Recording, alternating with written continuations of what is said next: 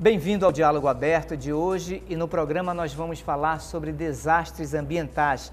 Tsunamis e furacões são impactos de causas naturais que não foram resultados da ação do homem. Contudo, a atividade de mineração, petrolíferas, pecuária e entre tantas outras são ocasionadas pelo homem e têm resultados bastante catastróficos. No diálogo aberto de hoje, vamos conversar sobre os danos dos desastres ambientais principalmente no estado do Pará. E para discutir este assunto, aqui no estúdio, eu recebo a pesquisadora da Universidade Federal do Pará, Simone Pereira. E para participar do programa de hoje, você pode enviar perguntas para o Diálogo Aberto pelo nosso WhatsApp. O número é o 98802-3444. Professora, obrigado por ter vindo ao Diálogo Aberto. E o assunto é muito interessante, haja vista que nós temos uma situação bastante emblemática aqui na região, né? que são esses desastres ambientais. Eu queria que a senhora começasse falando sobre por que a Amazônia é alvo desses grandes projetos. A Amazônia, pela sua característica, ela oferece aos grandes empreendedores uma vasta gama de é, facilidades, né? Aqui na Amazônia você tem o minério, né, que é abundante, vários deles, o cobre, o ferro, a bauxita, então você não precisa ir muito longe para poder extrair esses minérios. Você ter uma produção industrial próxima à fonte desses minérios é muito interessante. No caso aqui de Barcarena, você traz a, a bauxita via mineroduto né, de, de Parauapebas e também vem através de navios de por trombetas, lá próximo a Oriximiná, sem sair do estado do Pará. Né? Em Carajás você tem o ferro, você tem o cobre, todos extraídos, mas ainda precisa essas indústrias de transformação. É, em Vila do Conde nós temos outra vantagem, a proximidade do, do oceano. Então você tem a entrada de navios né, num porto de grande calado, onde você pode escoar essa produção industrial. E além de tudo, nós temos grandes rios que também facilitam a questão do lançamento de efluentes, né, que eu costumo dizer é o tratamento mais barato, que é o RMP, ou seja, o tratamento do rio mais próximo. Isso facilita e muito a vida da, das indústrias, que não requer grandes tratamentos, eles simplesmente jogam as coisas nos rios e esperam que esses grandes volumes de rios acabem por diluir essa, essa contaminação que acaba sendo lançada pela produção industrial aqui. Então a Amazônia ela oferece grandes vantagens para esses empreendedores e é um, um destino é, razoavelmente certo para outros empreendimentos, outros grandes projetos. Professor, o que, é que eu posso caracterizar como um desastre ambiental? Desastre ambiental é tudo aquilo que de alguma maneira altera o meio ambiente ou a vida das pessoas que moram próximas ali àquela situação ocorrida. Ele não é previsto, não se pode caracterizar um desastre como algo que, olha, ocorreu em 100 anos, né? Ele é, é, pode ser previsto, portanto, é necessário planos de contingência é como se você tivesse um edifício, mas que você não quer que ele pegue fogo, mas você tem um desastre que pode acontecer. Então você faz planos, treina aqueles moradores para que se aquele desastre aconteça, as pessoas já estejam ali treinadas para isso. Mas é uma, uma coisa que pode acontecer ou não, né? Então o desastre, se vier acontecer, ele altera a vida das pessoas, ele altera o meio ambiente, de alguma maneira ele causa esse tipo de transtorno. Professora, para esses projetos chegarem a, a serem construídos ou serem utilizados, é, precisa de várias etapas de legalidades. Né? Quais seriam essas legalidades que um projeto deveria conter para é, conter, é, conter, não, mas para abranger toda uma necessidade daquela população em volta? Eu costumo dizer que a lei ambiental no Brasil ela evoluiu bastante nesses últimos 30 anos. Na década de 80 não se exigia muita coisa das indústrias, é, o Estado dava todo e qualquer incentivo, né, como energia é, barata ou simplesmente energia de graça para as indústrias, isenção fiscal e outros tipos de benefícios, terras, né? É, é, localidades que, que notadamente são da União, que acabam passando para essas indústrias. Então, toda essa gama de, de benefícios acaba acabou por trazer essas indústrias para o Estado. Depois que essas indústrias vieram, na década de 80, a lei começou a evoluir. Já na década de 90, a coisa já evolui para a exigência de alguns estudos, por exemplo, o EIA-RIMA, né? que é o estudo de impacto ambiental e o relatório de impacto ambiental. A Albras, ao se instalar lá em Barcarena, ela se instalou como Albras Alu Norte, ou seja, os dois empreendimentos num EIA-RIMA único, né? onde era previsto a construção de bacias, etc., na década de 80. Mas veja, a Lunorte ela só foi se implantar na década de 90, né? em 96, juntamente com a Imeres RCC, Rio, é, Capim Caulim. Então, essas duas indústrias, a, a Imeres, ela sequer tem EIA-RIMA, né? não foi exigido. Já na, na, em 2000, já no século 21, é impossível pensar que uma indústria possa se instalar aqui no estado do Pará sem esses documentos, o EIA e o RIMA. Né? Além do EIA-RIMA, além de apresentar o EIA-RIMA, tem uma série de exigências, como, por exemplo, audiências públicas. Hoje, as, as populações locais elas precisam ser ouvidas, né? E isso é, é, é exigência né, primordial para que aquele empreendimento possa ser instalado. Recentemente, é, a, a, houve uma, uma, tentativa de implantação de uma termoelétrica em Barcarena e a, a população disse que não queria. Né? Foram para audiência, fizeram protesto e essa termoelétrica não foi implantada. Né? Disseram que não ia ter a, a, expansão da fábrica porque precisavam de mais, mais energia, mas nós, é uma coisa meio difícil de acreditar, porque nós temos Tucuruí, Belo Monte agora, né? E é difícil acreditar que aqui no estado do Pará nós não temos energia suficiente para dar para uma fábrica. Então a termoelétrica de fato era um empreendimento que a população não queria e eles barraram esse empreendimento. Então é, há uma série de, de licenças que são dadas, né?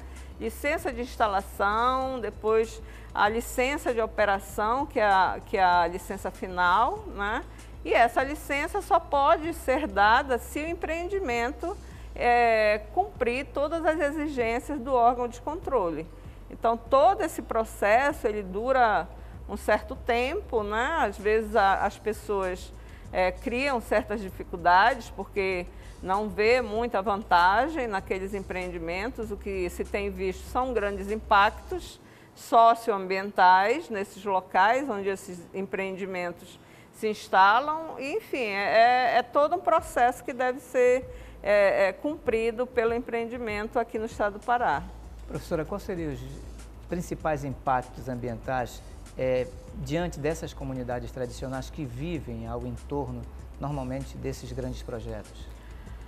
Veja, a, a questão da implantação da Ubras na década de 80 é, já era previsto a implantação de um polo industrial ali, né, em Barcarena. No entanto, não houve um estudo, e até hoje esse polo não foi implantado, não foi licenciado, porque as coisas foram sendo feitas todas assim à revelia da, da população, as pessoas, populações tradicionais, indígenas e quilombolas que vivem lá tradicionalmente são donas né, daquelas áreas ali, foram simplesmente expulsas ou simplesmente ficam lá resistindo, a maioria delas com problemas de saúde sérios, né? E estão numa zona de risco, porque uma área industrial não deve ser confundida com uma área urbana, onde vivem pessoas.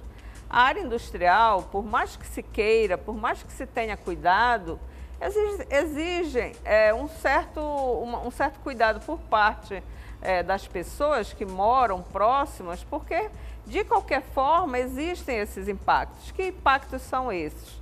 Efluentes tóxicos que são jogados na água do rio, que acabam recarregando a água subterrânea, que acabam contaminando essa água subterrânea e as pessoas, a maioria delas, consomem água de poços, né?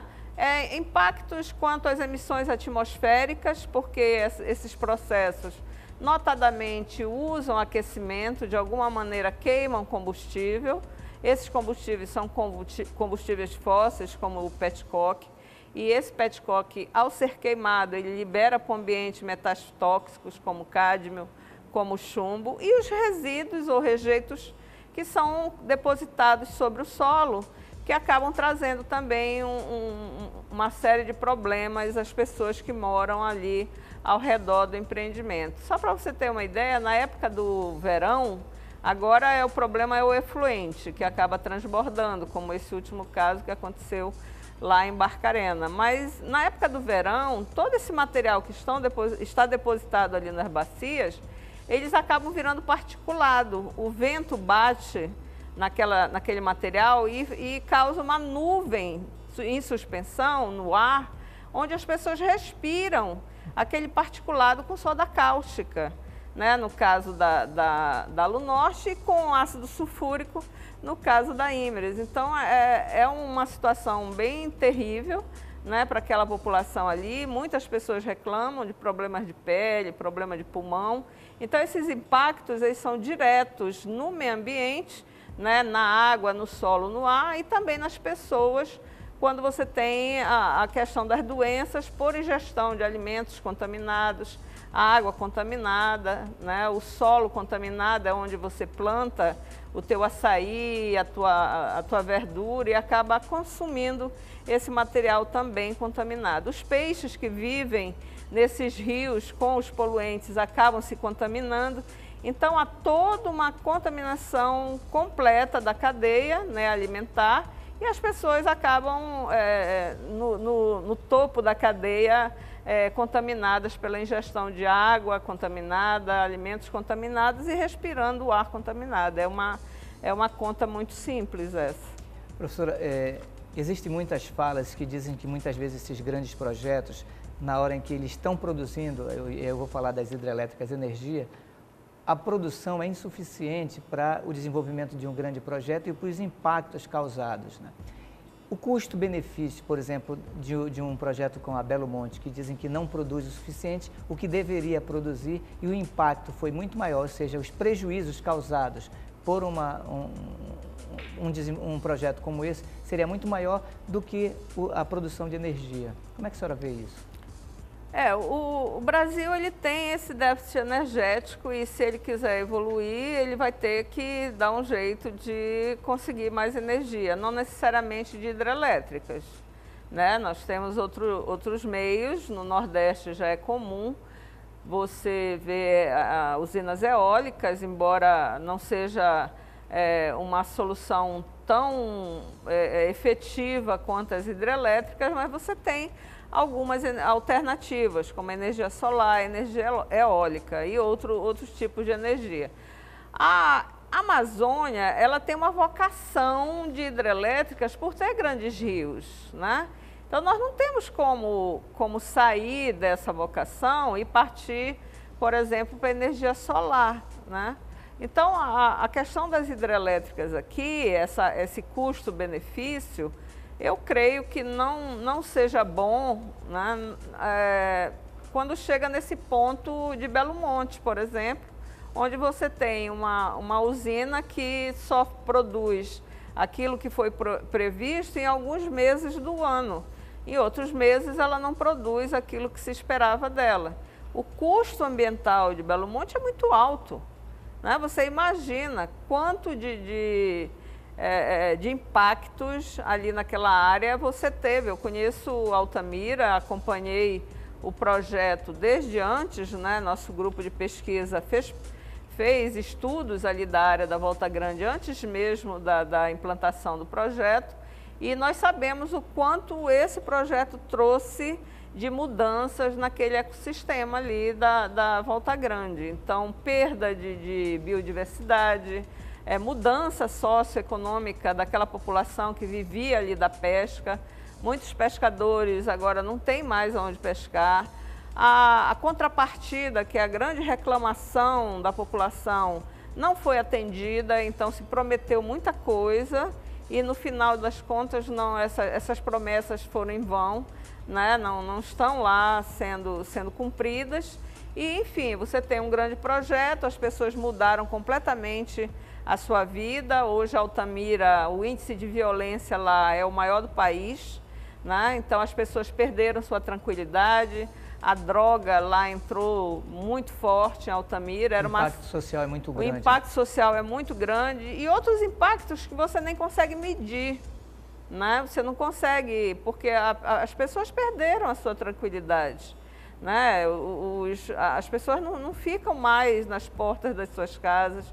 É, dá certa hora você não consegue mais sair de casa Tem uma com medo. de hábito também. Né? Ali a orla de Altamira, né? onde era o encontro da cidade, você quase não vê mais ninguém descendo ali para poder se encontrar, para poder tomar um, um chopp na beira do rio. Não, não se faz mais isso. Então esse tipo de impacto que não é perceptível, mas ele está lá, né? mudando a vida dessas pessoas. Isso eu acho que, que não vale a pena, sabe? É, é, é uma, um impacto muito forte numa população que não estava preparada para isso. Aconteceu em Tucuruí e aconteceu também em Altamira, né? infelizmente. Professora, a senhora tem pesquisa nessa área, né? Eu queria que Sim. a senhora falasse sobre a sua pesquisa. O que é que lhe levou a pesquisar? Por quê? Quais foram os resultados? Os parâmetros que lhe levaram a, a chegar a determinadas conclusões? O Laboratório de Química Analítica Ambiental da UFPA, que é o laboratório que eu coordeno, ele é um laboratório que desenvolve metodologias analíticas, então é, nós temos condições e equipe técnica para poder desenvolver metodologias analíticas para resolver alguns problemas né, nessas questões ligadas à análise química e também voltada para o meio ambiente. É, nosso parque analítico conta com equipamentos de última geração, como um espectrômetro de emissão ótica com plasma indutivamente acoplado, que analisa até 72 elementos simultaneamente. Hoje ele está otimizado para 26 elementos químicos simultâneos. E nós fazemos a pesquisa de metais e elementos tóxicos é, é, em diversas matrizes, inclusive em cabelo humano, né? vendo a condição de saúde e de, também de contaminação por esses metais em seres humanos. Basicamente, o laboratório ele faz pesquisa é, dos parâmetros físico-químicos e também dos metais, dos elementos químicos, é, associado à questão da qualidade da água, da qualidade do solo, da qualidade do sedimento e da qualidade das plantas desses ecossistemas. A gente não trabalha com a parte atmosférica mas essa parte da qualidade da água, sim. Então, nós já analisamos é, a qualidade da água de diversos rios amazônicos, nós temos desde a for do rio Amazonas, né, até o rio Tocantins, Tapajós, aqui próximo o rio Pará, né, aqui a Baía do Guajará, rio Guamá.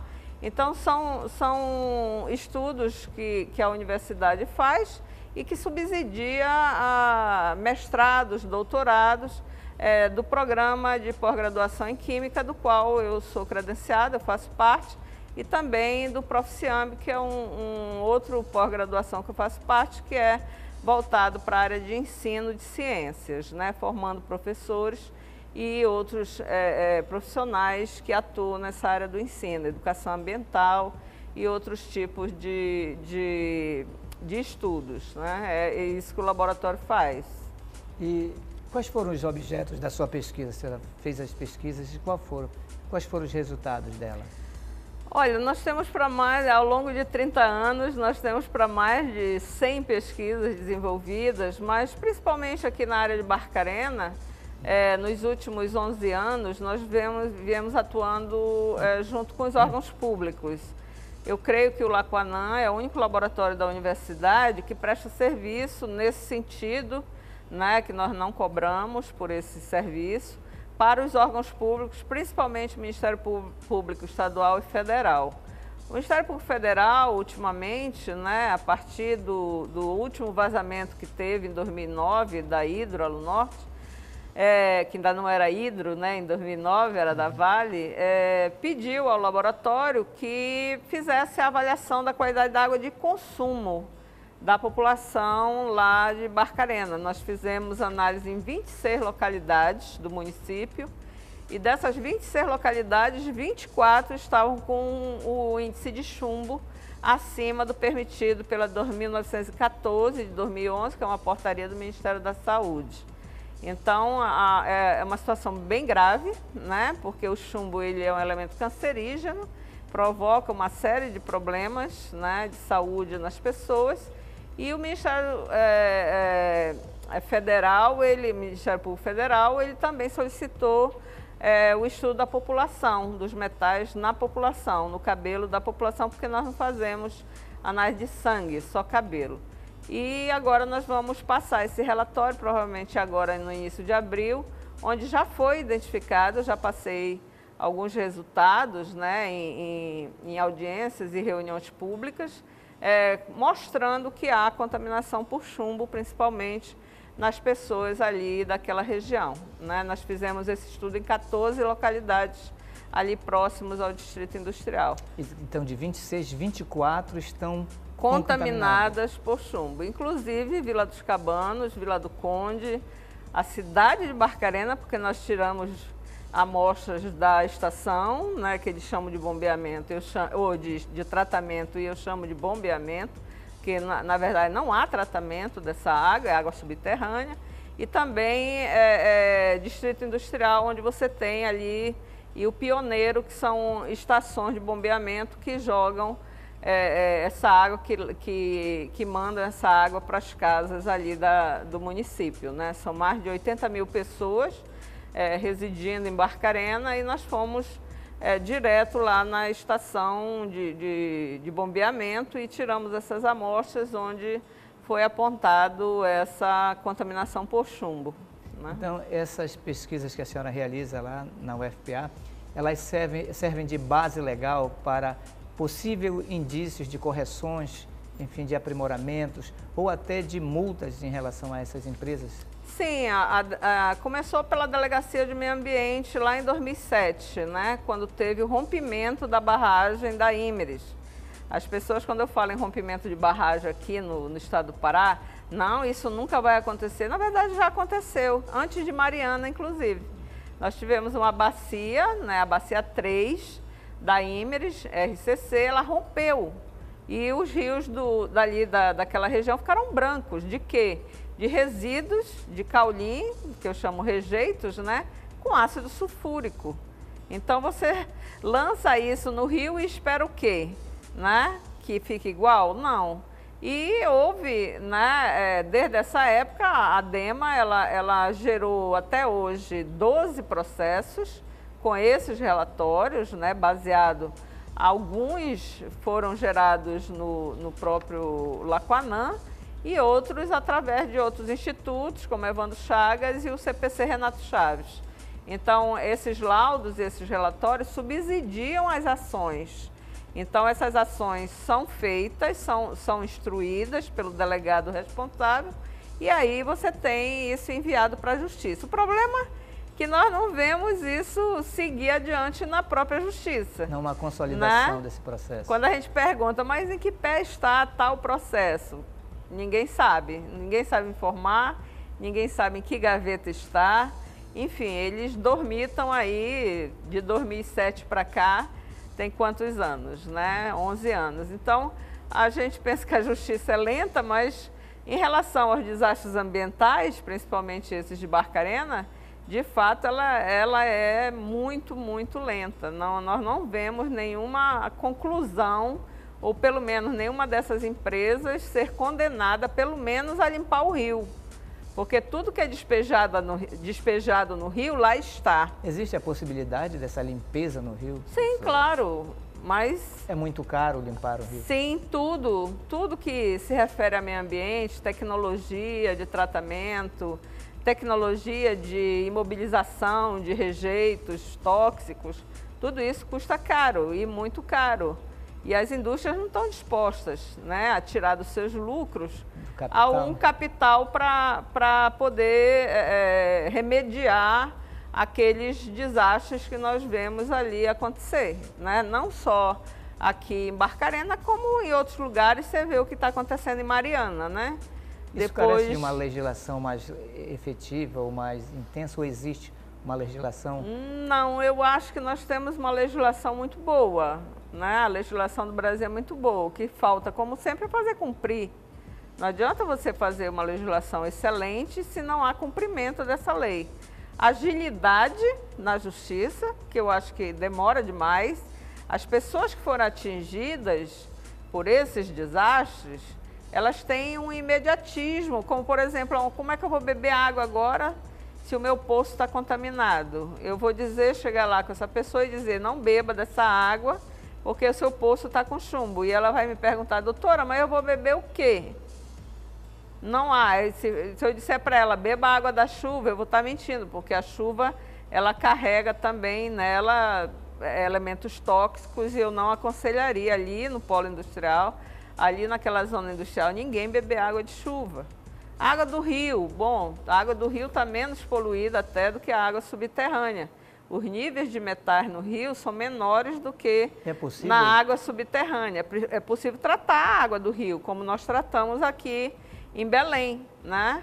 A água que nós tratamos aqui vem do rio Guamá. É possível construir uma estação de tratamento e parar de usar água de poço lá em Barcarena, porque já está mais do que provado, esse estudo provou isso, que a água está com contaminação. E não é só ali naquela região, isso atinge as ilhas.